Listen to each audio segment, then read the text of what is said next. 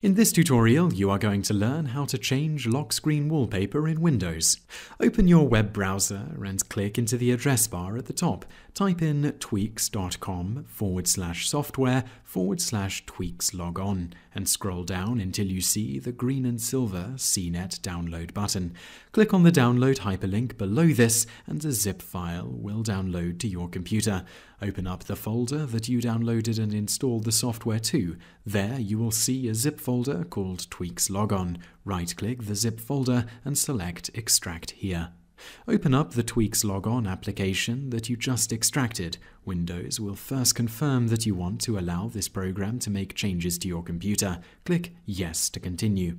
A simulated logon screen will appear. Click Change Logon Screen at the bottom left of the screen. Now you can browse through your files to pick the lock screen of your choice. Select the wallpaper image you want to use and click Open.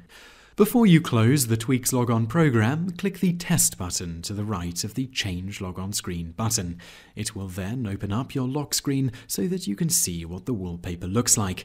You can also test the lock screen manually by clicking Start and then navigate to the right of the Shutdown button where you will see a drop-down menu with several options. Choose Lock.